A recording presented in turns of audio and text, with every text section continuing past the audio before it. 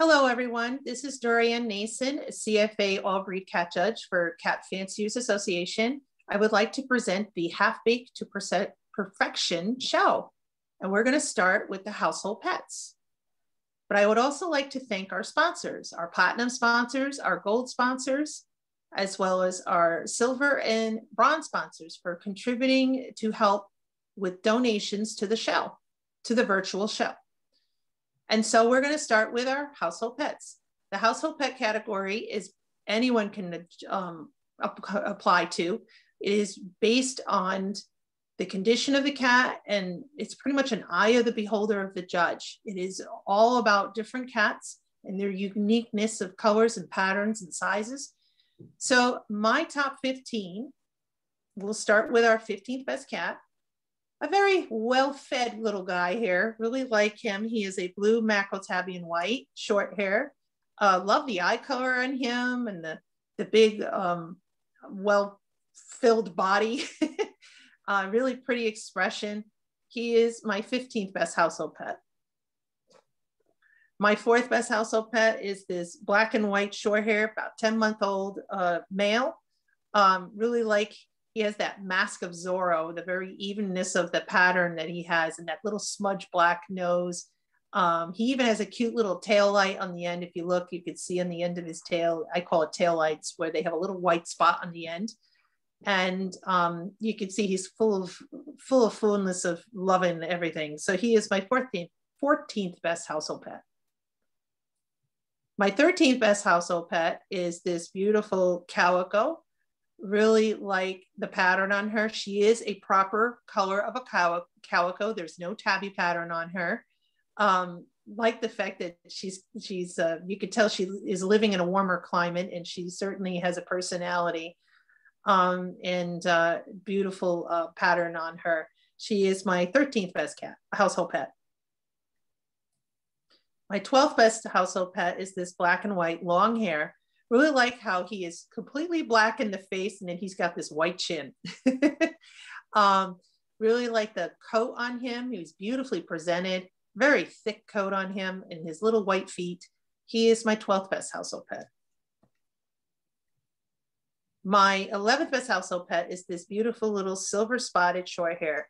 Really like the eye color and the nice little ghost pattern of the, the spotting on him very cute looking little female actually, and it's five months old. Um, like the um, the overall uh, pattern in the light pale silver on her. She is my 11th best household pet. My 10th best household pet is this beautiful brown tabby and white, uh, long hair, about three years old, female. Love the real sweet expression. She's very balanced in the face. And what I mean by that is the, the symmetry and the eyes and the ears just balance into her face, giving her that real cute, sweet, very docile presence to her. Um, love the uh, the coat on her, the, the beautiful, beautifully groomed that she is. Uh, she does a good job for herself. um, and um, just a beautiful little girl. She is my 10th best household pet. My ninth best household pet is this beautiful black smoke tabby is what I call him. He's got a nice uh, heavy uh, tabby pattern and that nice smoke. The smoke is actually a white undercoat on the body. So when you flip the coat, you will see a white uh, undercoat under the body. But he's got beautiful luminous green eye color. Really makes it makes his eyes striking to the black uh, background of his uh, um, coat color. Uh, very muscular looking guy. He is my ninth best household pet. My eighth best household pet is this cinnamon, cinnamon colored short hair. Really love the color. It's that nice rusty bronzy kind of color. And if you think about it, open a bottle of cinnamon and look at the cinnamon color and look at him. And yeah, he looks like a cinnamon color. Really like the pattern, uh, the, the evenness of it, lack of pattern, I would say. And the eye color actually kind of blends in with his ground color, which is unique. Um, you can tell he's a little cutesy there. He is my eighth best household pet.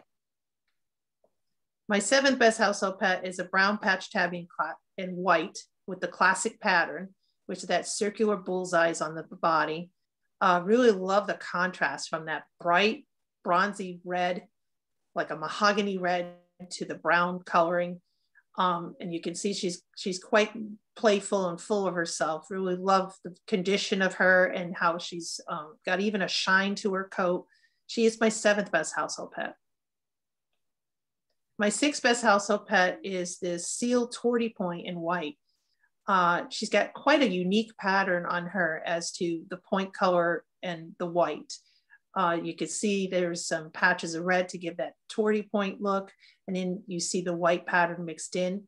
She's got quite an amazing deep blue eye color on her. She is an older female, about nine years old. Um, really like the overall look of her and the condition. She is my sixth best household pet.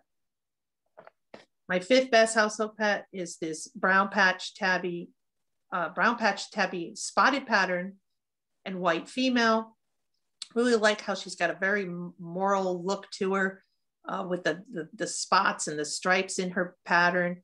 Uh, very nice deep contrast to her. Love the eye color on her. And she's even got uniqueness to her muzzle where she's got some white on the corners of her mouth.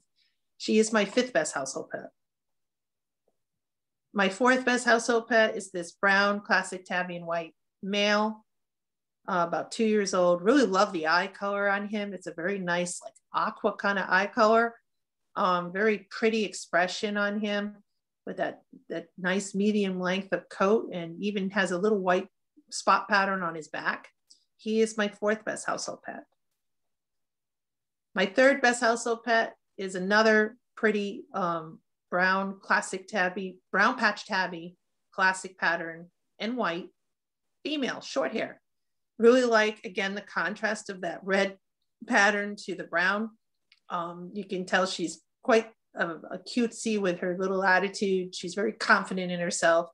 Um, really like the white under, uh, the white, how it is in the front, and it looks like she's got a little saddle on the back. Um, really pretty expression. She is my third best household pet.